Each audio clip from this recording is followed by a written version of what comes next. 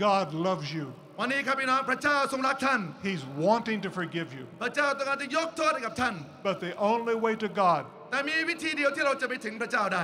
is by faith through Jesus Christ. นั่นคือโดยความเชื่อในองค์พระเยซูคริสต์เจ้าของ If, เรา if you're here tonight, แต่วันนี้พี่น้องมาที่นี่ if you have never put your faith and trust in Jesus Christ, ถ้าที่ผ่านมาคุณยังไม่เคยมอบความไว้วางใจในองค์พระเยซูเลย if you have never had your sins forgiven, ถ้าคุณยังไม่เคยนะความบาปของคุณยังไม่เคยได้รับการอภัยโทษเลย I want you to do something right now. วันนี้ผมอยากให้คุณทำอะไรหนึ่งอย่างนะ เอา เดี๋ยวนี้ I want you to get out of your seat, ผมอยากให้คุณได้ลุกออกจากที่